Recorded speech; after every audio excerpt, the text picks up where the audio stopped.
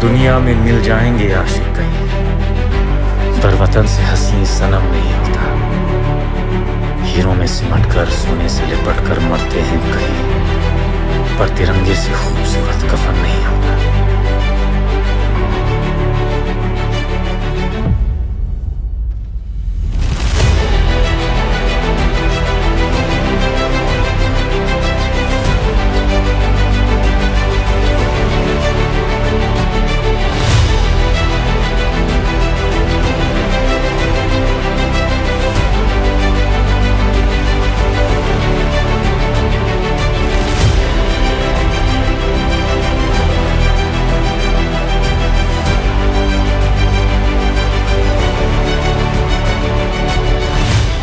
Hello दोस्तों, हम सभी ऋतिक रोशन की सबसे बड़ी एक्शन फ़िल्म फाइटर का बड़ी बेसब्री से इंतज़ार कर रहे हैं। और ये फ़िल्म इंडियन सिनेमा की सबसे पहली एरियल एक्शन फ़िल्म होने वाली है, जिसमें हमें हॉलीवुड लेवल के एक्शन सीन्स और खतरनाक वीएफएक्स भी देखने को मिलने वाले हैं। और इसीलिए फैंस के बीच में फ़िल्म को लेकर काफ़ी ज़्यादा एक्साइटमेंट बनी हुई है। लेकिन दोस्तों, अभी तक मेकर्स की तरफ़ से फ़िल्म के टीजर या पोस्टर के नाम पर बस एक टाइटल पोस्टर ही देखने को मिला है। वही फैंस भी सुपर एक्साइटेड है फ़िल्म के टीजर को देखने के लिए। तो दोस्तों, अब खबरें निकल के आ रही है की बहुत जल्द हमें फाइटर मूवी का टीजर देखने को मिलने मिलने वाला है। वहीं कुछ मीडिया रिपोर्ट्स की माने तो फ़िल्म का टीजर हमें अगले महीने यानी अगस्त में या फिर सितंबर में देखने को मिल सकता है, जिसके बाद काफ़ी कुछ साफ़ हो जाएगा कि फ़िल्म की स्टोरी कैसे होने वाली है और फ़िल्म में हमें किस लेवल के एक्शन सीन्स देखने को मिलने वाले है। इसी के साथ बात करें फ़िल्म की कास्टिंग की तो फ़िल्म की कास्टिंग काफ़ी बड़ी होने वाली है, जिसमें हमें बॉलीवुड के कई बेहतरीन कलाकार देखने को मिलने वाले हैं। फ़िल्म में हमें लीड रोल में ऋतिक रोशन ही नज़र आने वाले हैं और इनके अलावा अनिल कपूर भी हमें देखने को मिलेंगे। वही बात करें फ़िल्म की हीरोइन की तो फ़िल्म में हमें बॉलीवुड की लीडिंग लेडी दीपिका पादुकोण, ऋतिक रोशन के साथ में देखने को मिलने वाली है। और ये फाइटर मूवी पहली फ़िल्म है जिसमें ऋतिक रोशन और दीपिका पादुकोण एक साथ देखने को मिलेंगे। वही बात करें फ़िल्म की डायरेक्शन की तो फ़िल्म को बॉलीवुड के सबसे बड़े एक्शन डायरेक्टर्स में से एक, सिद्धार्थ आनंद की डायरेक्शन में बनाया जा रहा है, जो की पहले भी वॉर मूवी में ऋतिक रोशन के साथ काम कर चुके हैं। इसी के साथ आपको बता दें कि फाइटर मूवी ऋतिक रोशन के कैरियर की सबसे बड़ी फ़िल्म होने वाली है, जिसका बजट ढाई करोड़ बताया गया है। वही बात करें कि ये फ़िल्म हमें कब तक देखने को मिलेगी तो दोस्तों अभी फाइटर मूवी के लिए हमें थोड़ा इंतज़ार करना पड़ेगा, क्योंकि ये फ़िल्म बहुत ही बड़ी होने वाली है। और ऋतिक रोशन इस फ़िल्म के ऊपर पूरी मेहनत से काम कर रहे हैं। साथ ही खबरें तो ये भी निकल के आ रही है कि फ़िल्म के एक्शन सीन्स को ऋतिक रोशन खुद ही शूट कर रहे हैं। और अब बहुत जल्द इस साल सितंबर तक हमें फ़िल्म का टीजर भी देखने को मिल जाएगा। और ये फ़िल्म हमें अगले साल की शुरुआत में, यानी 25 जनवरी को सिनेमा घरों में देखने को मिलेगी। तो दोस्तों, आप सभी फाइटर मूवी को देखने के लिए कितने ज़्यादा एक्साइटेड है, हमें कमेंट करके ज़रूर बताएँ। और अगर आपको हमारी ये वीडियो पसंद आई हो तो इस वीडियो को एक लाइक करें शेयर करें। और फ़िल्मों से जुड़े ऐसे मज़ेदार अपडेट जानने के लिए हमारे यूट्यूब चैनल को सब्सक्राइब करें।